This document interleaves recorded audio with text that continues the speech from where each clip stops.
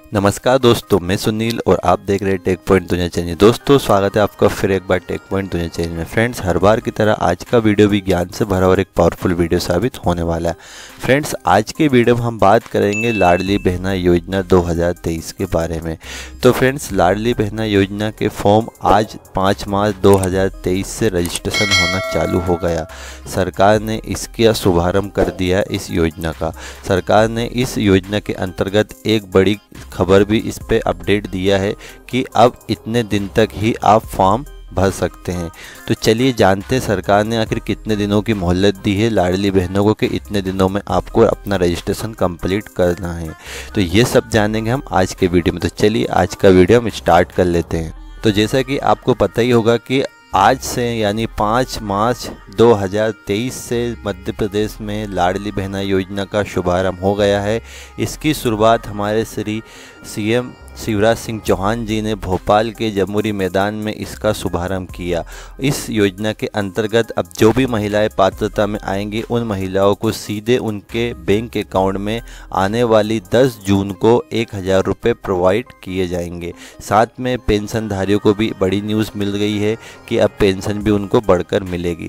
But सरकार ने इस पर आज एक बड़ी घोषणा की है कि अब सिर्फ़ आप इतने दिन ही इस योजना में अपना रजिस्ट्रेशन कर सकते हैं। हालाँकि सरकार ने पहले कहा था कि आप 30 अप्रैल तक इसमें आवेदन कर सकते हैं। तो आज हमारे श्री शिवराज सिंह चौहान जी ने ट्विटर पे एक अपना अपडेट दिया जिसमें बताया है कि आप सिर्फ़ इतने दिन इसमें फॉर्म डाल सकते हैं।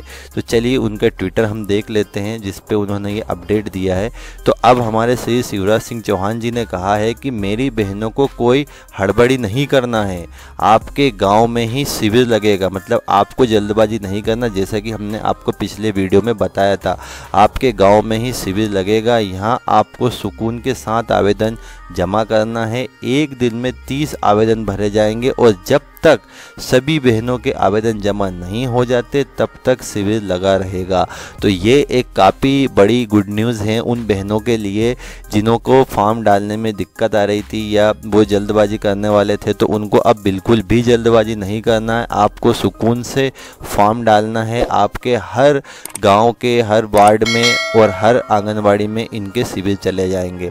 और जब तक वो शिविर लगे रहेंगे, उस गाँव में, उस ग्राम पंचायत में, उस वार्ड में जब तक कि उस गाँव ग्राम वार्ड की सभी बहनों की जो पात्रता में आती उनके आवेदन नहीं डल जाते हैं।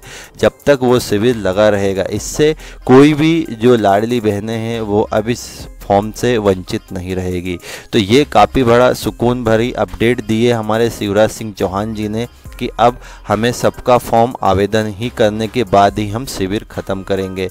तो आने वाले समय में देखिए, अब इस पर क्या और बड़ा अपडेट आता है और किस तरह से इसमें आवेदन किया जाता है तो ये बताएँगे हमारे आगे की जो इसकी अपडेट रहेगी जानकारी। अब बात आती है कि इन्होंने जो फॉर्म दिया है कि आप फिज़िकली फॉर्म उसको भरें और भरने के बाद उसे आप अपने पास तैयार रखें और आंगनबाड़ी में या ग्राम पंचायत में जैसे ही शिविर लगते हैं, वहाँ आपको जमा करना है। तो इसके अंतर्गत इन्होंने अपना ओरिजिनल फॉर्म भी बता दिया है अपडेट कर दिया है। तो देखिए, हम आपको ओरिजिनल फॉर्म दिखा देते हैं कैसा लग रहा है ओरिजिनल फॉर्म तो यहाँ से देखिए पीडीएफ फॉर्मेट में फॉर्म है ये।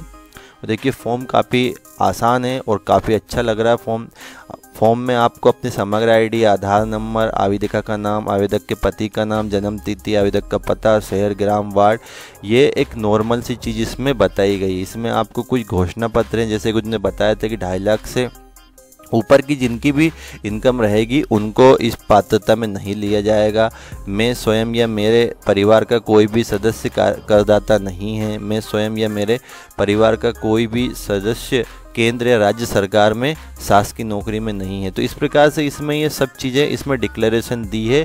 इसके बाद यहाँ से आप ये फॉर्म भरने के बाद जब आप जमा करेंगे तो आपको यहाँ से ये पावती भी प्रदान की जाएगी, जिससे कि आपको रिसिप्ट मिल जाएगी कि आपका फॉर्म जमा हो गया है। तो आप इस फॉर्म को यहाँ से प्रिंट कर लें। इसका लिंक मैं आपको वीडियो के डिस्क्रिप्शन प्रोवाइड कर दूँगा, जहाँ से आप डायरेक्ट इस फॉर्म को प्रिंट कर सकते हैं और अपने पास फिजिकली तौर पर इसको भर के रख कर अपने नज़दीकी ग्राम पंचायत, नगर पंचायत और वार्ड में आप जमा कर सकते हैं। और फ्रेंड्स अगर इस रिलेटेड फिर भी आपके कोई सवाल है डाउट है तो आप मुझे कमेंट कर सकते हैं मेल कर सकते हैं। और आशा फ्रेंड्स हमारी दी हुई जानकारी, कुछ समझ आएगी जानकारी, अगर आपको अच्छी लगे तो हमें लाइक करें शेयर करें सब्सक्राइब करें। इसी तरह से आप हमारे साथ जुड़े रहे। धन्यवाद फ्रेंड्स